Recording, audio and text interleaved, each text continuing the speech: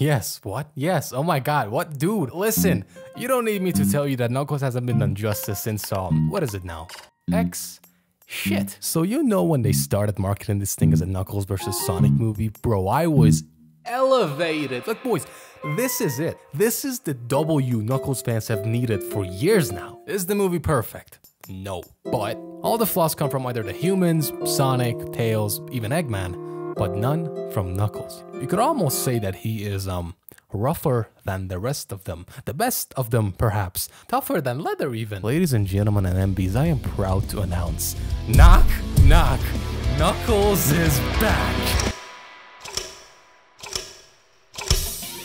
There are a few things you gotta get right with Knuckles. He's stoic, he's driven, and he's guileless, but not. That's the important one. And see what I was afraid they do is that they do a complete 180 and overcorrect this so he's just this macho, overly serious grump with no levity because that's not who Knuckles is. There was always this aura of goofiness with him before they started misusing it. And it makes me so happy to say that this motherfucker is the funniest character in the movie. They did it. They figured out that the comedy doesn't come from Knuckles being a moron, but an antisocial hothead in an unfamiliar place.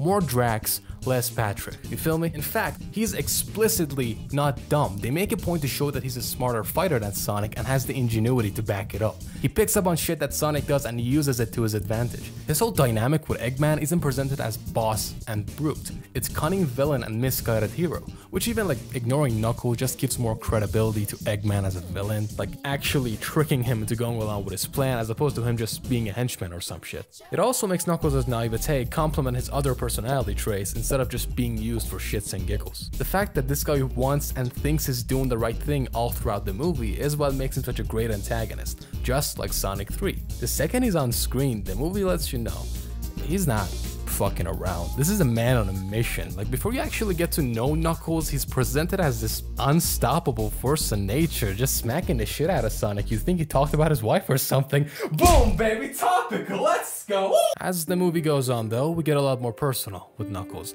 Through his interactions with the other characters, we get to see a side of him that we rarely ever get to see how he actually stops and thinks about his actions, how he sees Eggman as an ally throughout the whole movie, staying loyal to him until the very end because he doesn't live in a world without honor, or when he fights Sonic and gets progressively angrier at his bullshit, or his interactions with Tails?